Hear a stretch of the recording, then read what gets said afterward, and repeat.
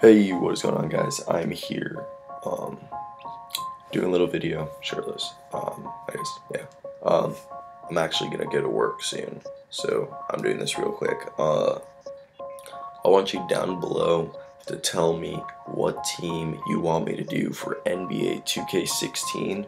Okay, so I just need to know what team you want me to do for NBA 2K16, MyGM. This is gonna be the team I'm gonna stick till the end of the year. So 2K comes out the 25th if you pre-order it.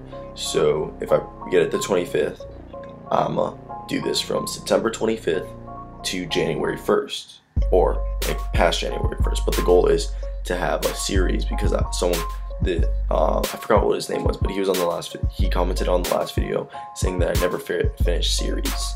So I'm gonna finish this series. So comment down below what NBA 2K16 team you want me to do for pretty much till next year, till 2016. So tell me about down below. It'll be much appreciated. As always, guys, if you enjoyed this video, leave a like, uh, subscribe if you're new, and hope you guys have a great one, because I know I will. Until next time, guys.